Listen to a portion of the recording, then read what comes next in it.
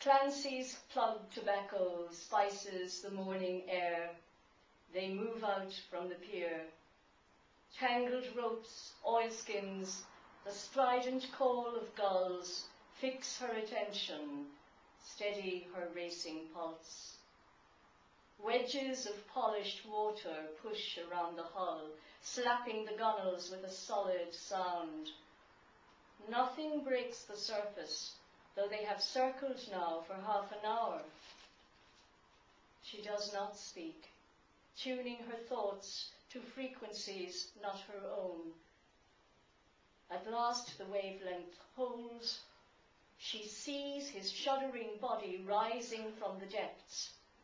Exploding velvet shoots up from the sea, lash of tail and fin, obsidian sleekness veiled in folds of spray. Clancy cuts the engine with relief. Unsteadily, she staggers to her feet.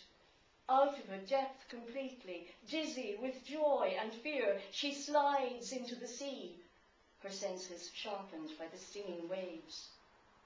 The creature swoops beneath her. She basks in his playful presence, opening out her limbs. They rise and fall together, delirious dance, riding the gunmetal waves. She spirals out of time. The dolphin steers her, a buoyant rudder, cutting the choppy sea.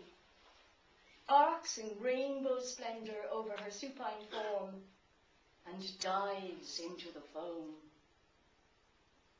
The sea's amniotic fluid rocks her in newfound peace.